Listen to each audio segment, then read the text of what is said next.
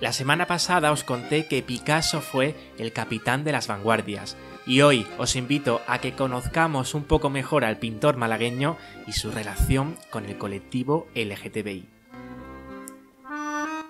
Precisamente hace unos días me encontré de frente ante el tapiz de las señoritas de Aviñón en el Museo Picasso de Málaga, el cual fue realizado por Jacqueline Durbach. El cuadro Las señoritas de Aviñón, pintado por el malagueño en 1907, lo cambió absolutamente todo en el mundo del arte. La sociedad de principios del siglo XX no lo aceptó pensando que estaba inacabado. Esta obra marcó el comienzo africano del artista, referencia clave para hablar del cubismo en donde Picasso inició un nuevo punto de partida. El artista sabía que estaba adelantado a su tiempo y cambió la forma de ver el mundo. Esta nueva visión se complementó con su forma de vivir y expresar la sexualidad, no se puede afirmar que Pablo Picasso fuese homosexual, pero aunque todos sabemos el gusto del artista por las mujeres, Antonio de Olano, amigo del pintor malagueño, llegó a afirmar que Picasso estuvo enamorado en su juventud del hombre que robó el cuadro de la Gioconda en 1911, un vigilante del Museo del Louvre. Por este hecho, el artista también estuvo imputado y a punto de ir a la cárcel.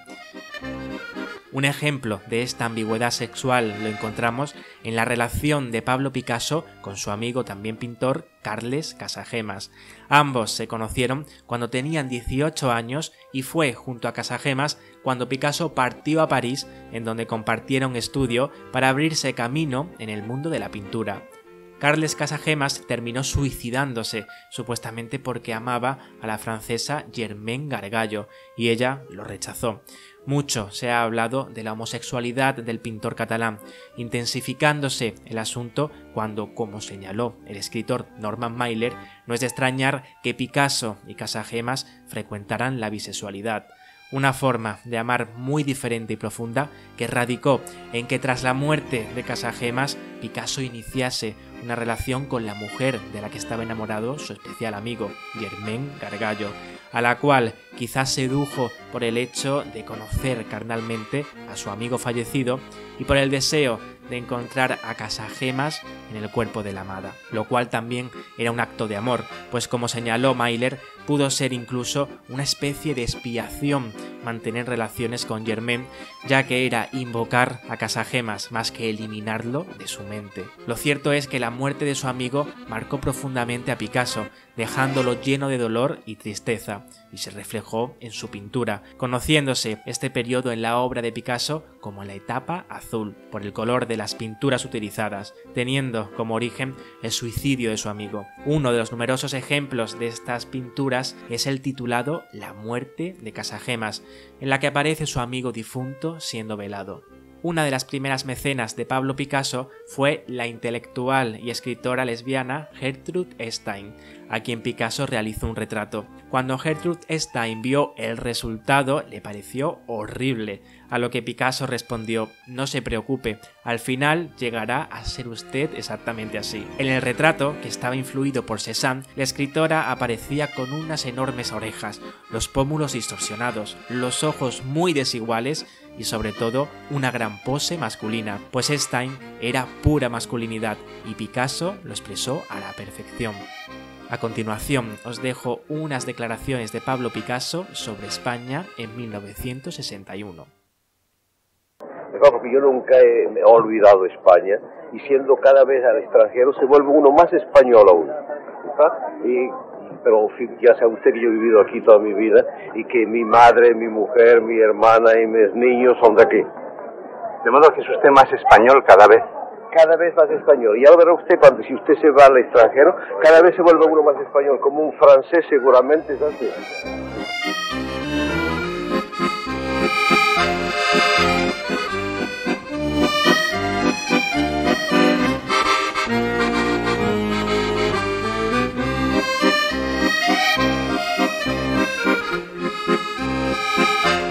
Artista con el que Picasso tuvo un fuerte vínculo de amistad fue Jean Cocteau, quien se rendía ante la genialidad de Picasso a quien llegó a referirse, subrayando su origen, como un malagueño que estaba al servicio de Francia.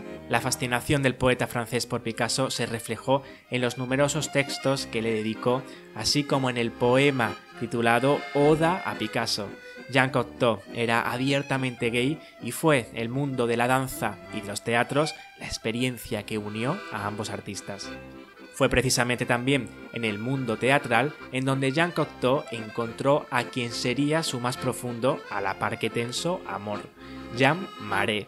Cocteau eligió a este actor para interpretar su obra Edipo el Rey, y más tarde llegaron a ser pareja, los sentimientos parecían más intensos en Cocteau que en Marais, a quien doblaba la edad. El giro radical en esta relación se dio cuando Marais conoció a otro joven, Paul Morien, que posteriormente presentó a Jean Cocteau como su secretario. Finalmente, acabarían los tres viviendo en el apartamento de Cocteau en la calle Montpensier, durante muchos años, una forma de vivir un nuevo tipo de relación totalmente revolucionaria, pues incluso a día de hoy lo sigue siendo. Jean Cocteau admiraba a la cantante más prestigiosa del momento en Francia, Edith Piaf. Ambos se habían conocido en 1940 y el poeta se maravilló por la fuerza creadora de la joven y llegó a escribir para ella El Bello Indiferente, pieza que supuso uno de los grandes éxitos de la joven a principios de su carrera. Edith Piaf también vivió de forma abierta su sexualidad, llegando incluso a mantener una relación con Greta Garbo y también con Marlene Dietrich. Tanto Piaf como Dietrich celebraban el amor libre y sin ataduras, y algo totalmente revolucionario fue que en una época aún atrasada es muy conocida la foto que se difundió de ellas besándose frente a las cámaras de Hollywood. Un acontecimiento totalmente inédito tuvo lugar el 11 de octubre de 1963, pues este día murió Edith Piaf y víctima de un infarto, horas después de enterarse del fallecimiento de su amiga, también murió Jean Cocteau al no poder soportar el dolor de la noticia. Cuando conoció la información, el artista dijo, el barco se acaba de hundir, este es mi último día en esta tierra. En definitiva, la vida de artistas como Picasso, cuya forma de vivir la sexualidad encierra misterio y ambigüedad, nos hace poner de manifiesto que el mundo LGTBI no es un mundo apartado o encasillado, como a día de hoy muchos activistas quieren hacernos ver, sino que estaba en absolutamente todos los lugares, en la música, en el arte, en la literatura, conjugándose con las demás formas de vivir la sexualidad.